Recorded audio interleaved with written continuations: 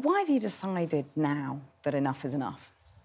Well, I guess it's something that the band has been reasonably vocal about for a certain amount of time, and um, I think in response to the video, that to me just seemed ludicrous, really, because I'm a 27 year old woman wearing a mini dress with wet look hair.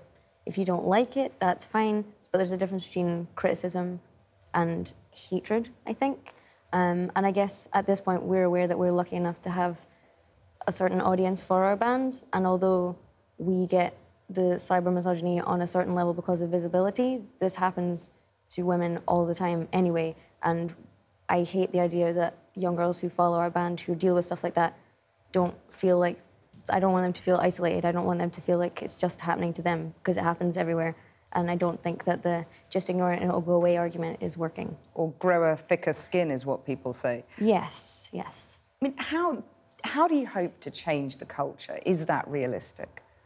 Well, people say to us a lot, well, how are you going to fix it? If you're complaining about it, how are you going to fix it? And I guess to me, it's scary the idea of lawmakers coming in and sifting through comments and deciding what is acceptable and what isn't. And it's unrealistic to expect companies to do that. And I guess in my mind, there has to be a shift in the cultural approach to women. And that will take time because change is always partial and it's always by degree.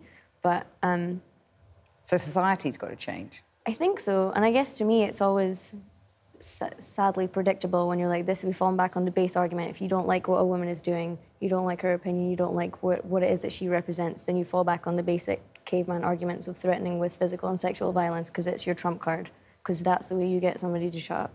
And I just think that's a very sad state of affairs to be living in. What kind of impact has all this abuse had on you?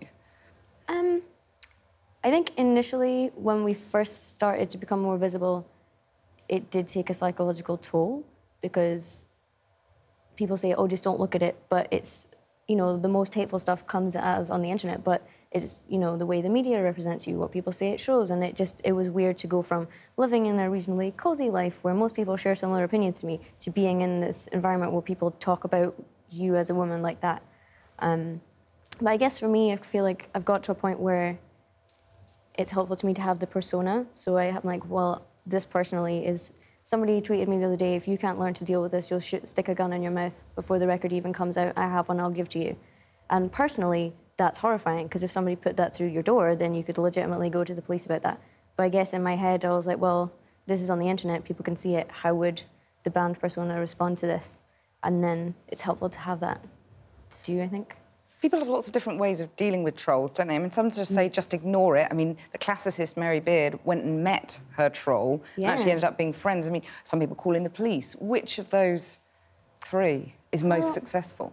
I guess when people say don't feed the trolls, like you're you're just making it worse. And maybe to an extent because we've spoken out about it more, I paint a target on my back because people think they'll get a response. But to me, it's not necessarily you responding that trolls want. They want to scare and they want to intimidate and they want to silence people. So ignoring it to me doesn't make a difference. And I can hand on heart tell you that we get just as many of those comments when I wear a baggy t-shirt and shorts at a gig as when I wear a dress in a video. So to me, it isn't necessarily even based on what you're doing in that particular moment. So I'm really sorry we have to leave it there, but Lauren Mayberry, thank you very much for coming and telling us about that. Thank